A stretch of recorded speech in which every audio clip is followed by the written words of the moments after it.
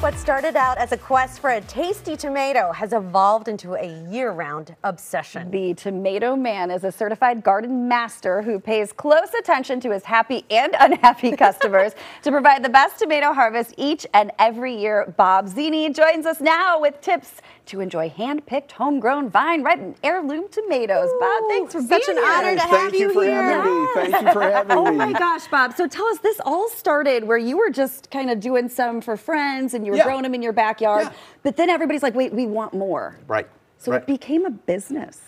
Um. I like to call it an enterprise. If I called it a business, I would have to take it seriously. Yeah. Right. I really, You probably don't make a lot of money from to it. Do Yeah. Yeah. I'm reluctant to do that. But it all started, but I mean, you see it all the time. You go to the grocery store and there's just these tomatoes. They're bright red in color, but they just don't taste, they don't taste like anything. Uh, the tomatoes you buy in the store could be off a vine from anywhere from two weeks to uh, a month. And uh, the secret is getting a tomato that is right off the vine. And it is sweet, it is sugary, the flavor is complex and deep. Uh, you're not going to get that from those tasteless travesties in the supermarket. Tasteless Yes. travesties. There are so many different varieties too. Yes. How do we know what we're supposed to be picking or buying? any heirloom plant that you grow um, is going to taste wonderful. I mean, they, they come in all sizes. There's five to 10,000 different varieties um, from softball size down to pea size.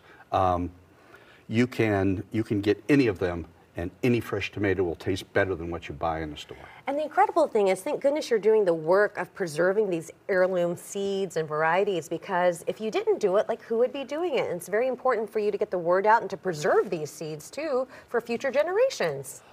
there's people around the country that are doing the same thing I am. Uh, LA, Denver, San Francisco, Cleveland, and all of them, one of their missions is to make sure people understand that heirloom tomatoes are uh, a, a wonderful thing. Yeah. So I'm sure people at home who are growing their own tomatoes Yeah. right now have one question. They're like, "You have the expert. Ask him."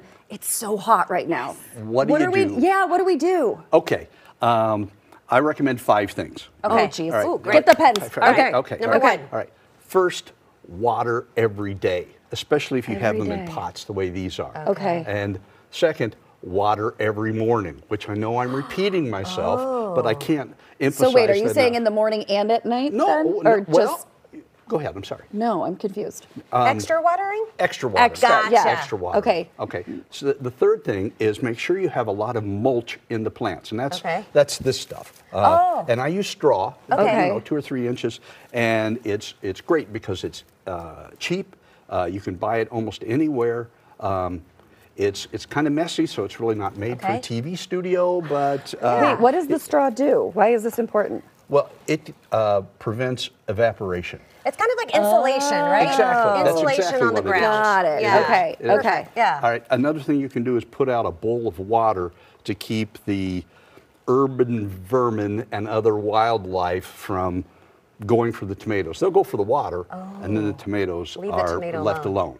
And um, finally, they can put some sort of uh, netting over Okay. the plants, some sort of, you know, the kind of thing that they have Yeah. in restaurant patios. Yes. Put that over there, and it will cut down on the direct sun and heat that's that's hitting the plant. Okay.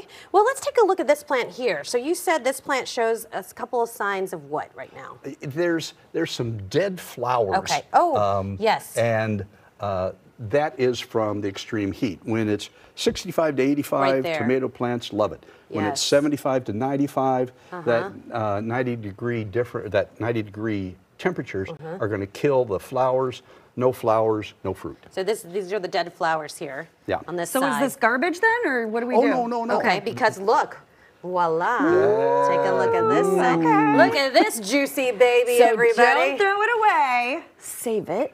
Yeah. And this is what Water I it. love about heirlooms too. They always have these odd like shapes too. They Oh, always yeah. kind of look like this. So cool. Yeah, all kinds of shapes. There's some that have the shape of a pumpkin, you know, Okay. like mini pumpkins, which is really interesting. That is crazy. Okay, I was also told you're going to show us to do something with a toothbrush that we're supposed to be. Oh. Okay, um, do our tomatoes have teeth, Bob? Yeah. What are we doing here? Um, tomato plants are self-pollinating.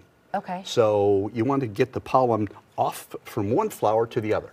Now, what you can do is just shake it because that will dislodge the uh, pollen. Or you can use a toothbrush.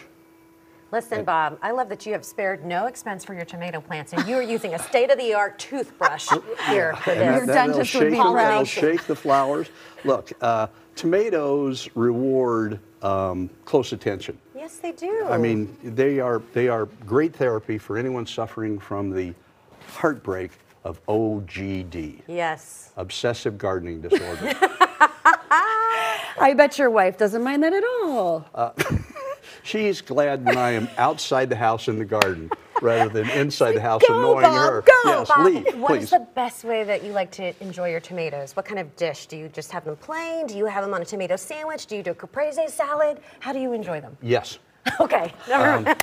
All of the things. Yeah, uh, on a salad, of course, uh, bruschetta is just Oh. it's just the most wonderful thing with fresh Love it. tomato and basil, which we grow alongside the Oh. tomatoes. Sometimes I just like it on a piece of toast, like between Oh, yeah. just bread with a little salt and pepper, a little mayo. Yeah. So good. Yeah. you Bob, go. delightful, and we love your your gardening hat too. Well, thank you, Protects you thank from you. the sun. Yeah. Don't forget to Tomato wear your sunscreen when you're out there gardening. Okay. And all right, thanks, Bob. For more tips and information, just head to chicagotomatoman.com or find him on Instagram. Are you trying to be the tomato woman? No, I adding just, your I- own I tips just here. Think, I just think Bob is scrum- uh, scrumptious, and I just I love tomatoes. I'm passionate about tomatoes too, and it's just great I that love it. he's.